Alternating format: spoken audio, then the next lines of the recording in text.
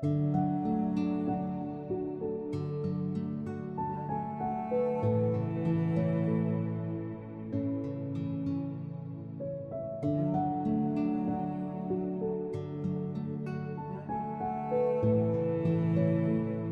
世間のすべての愛と憎しみは類性にわたって蓄積したものである。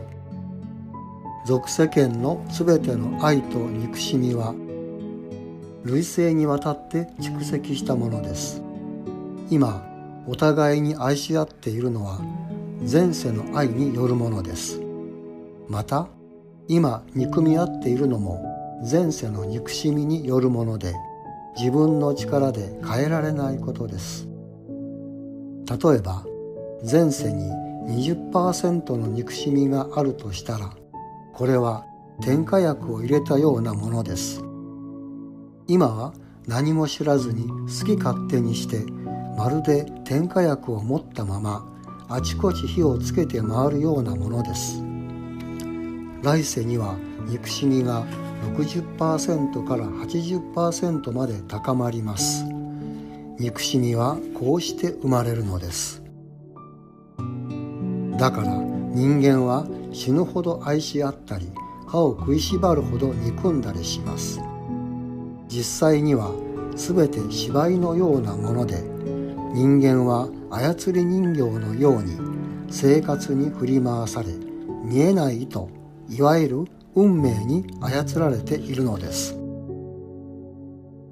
その影響で今日は楽しくても明日は悲しくなったりします。今日は仲が良くて心地よくても明日は喧嘩したりします。わかりますか？人間はこの世に生きていますが操り人形みたいに他人に振り回されるのです。人生の大半が過ぎ去った今何を得て何を失ったのでしょうか。今までしてきたことは全て前世の借りを返済したのです。例えば子供との前世の借り旦那さんとの借り奥さんとの借り親との借りお互い繰り返して返済し合ったりして最後になっても返済しきれないのです。現世に作った借りはまた来世に続けて返済するのです。悟りの瞬間を捉え人生の意義を探る。先生の開示。1質問。以前先生が人々は前世の悪縁の報いが来るため結婚はあまりいいことではないとおっしゃっていましたがこのご時世の結婚には悪縁が多いということでしょうか。回答。もちろんです。昨日弟子たちに開示した時私はこう言いました。バケツ一杯のきれいな水でワイシャツを洗うように。最初に奥さんと出会った一生では喧嘩するとインクが何滴かバケツに入りますがシャツはまだきれいに洗えます。しかし次の一生また次の一生を繰り返すと出会ってまた喧嘩をするたびにインクがまた何滴か入ります。悪縁が重なって前縁が徐々に少なくなります。バケツ一杯分の水に変わりはないがインクで濁ってきたのでこれでワイシャツがきれいに洗えるでしょうか。全部汚れるのです。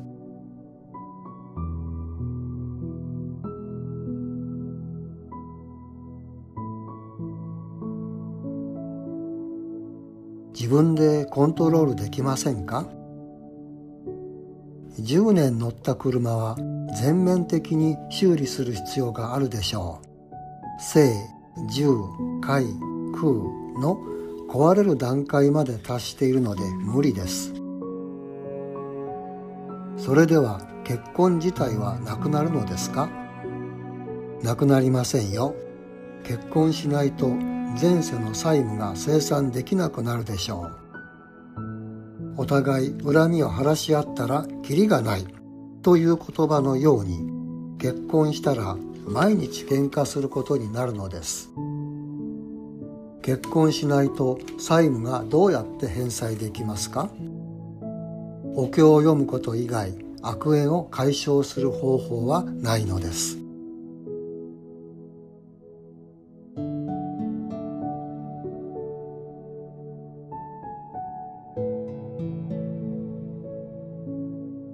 2質問。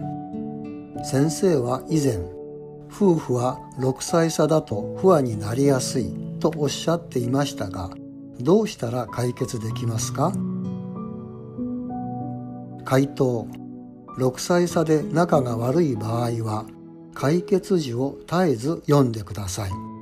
そして相手と自分にも信行を読みます。あとは霊仏大懺悔文を読んでください。